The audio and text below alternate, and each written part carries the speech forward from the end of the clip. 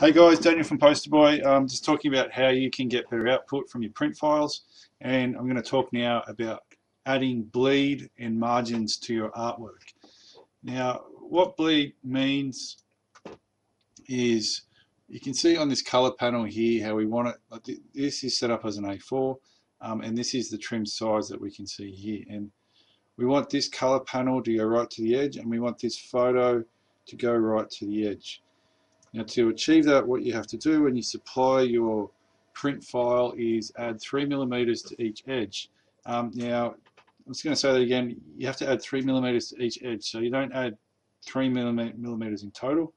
Um, you actually add would add 6 millimeters in total to each dimension. So the width will be 6 millimeters bigger as will the height, uh, not 3 millimeters. So it's six, 3 times 2.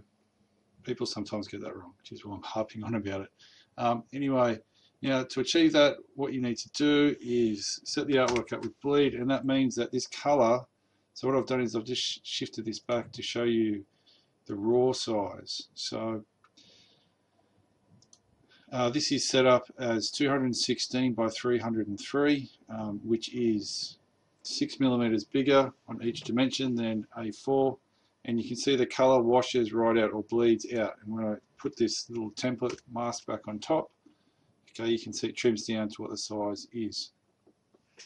Now the reason that we do that is because sometimes when um, something's printing it will skew a little bit and that'll mean that it'll twist just a little bit like that.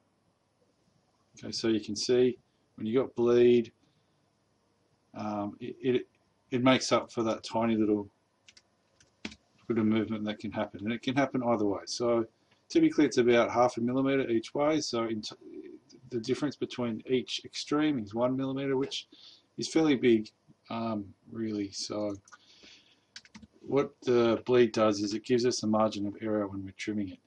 And the other thing um, I'm going to talk about is margins. So margins are kind of the same as bleed um, so if you've got something like I've put up here, important content, something that actually has to be on the page, you can't afford to have it not be on the page, so maybe you're doing business cards and it's, it's the name, or it's the logo, or the phone number, or, or whatever it is. Um, this is the margin. So a margin, I would, I would say definitely no less than the bleed, but I would recommend no less than 5 millimeters. And so that's 5 millimeters here where you just don't put anything that you absolutely have to have. And the reason I recommend 5 millimeters which is basically double the bleed is because if this skewing happens